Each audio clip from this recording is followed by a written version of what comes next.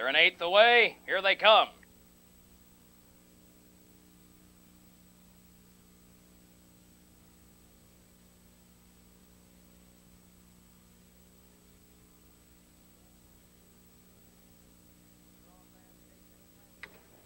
They're off and pacing. Frantic Frenzy for the lead. Splendid Entry gets away second. Larry Bud Denman third. Then Star Agitator. Yes, Sir Buddy on the far outside into the first turn moves up around Sulin Jock. Those two near the back of the pack, and then Chief Jayasuda drops in seventh. He moves up now sixth on the rail. Yes, Sir Buddy is next behind him toward the quarter mile mark. Then Bill the bartender, extra measure at the back. Frantic Frenzy on top by a length and three quarters. Splendid entry in second, and a gap of two to Larry Bud Denman, followed by Star Agitator 30 and one fifth seconds for the opening quarter. Sulin Jock in the center of the pack is fifth. He's seven lengths from the lead. Chief Gaia Suda pops off the rail. He moves up from sixth. Yes, sir. Buddy is next on the outside with cover. And then Bill the bartender, extra measure at the back. And Chief Gaia Suda kicks in from the outside. He's fourth. He's drawn up within three and a half lengths of the leader past the half. Frantic Frenzy on top by a length and a half. Splendid entry second. Chief Gayasuda third on the outside of Larry Bud Denman.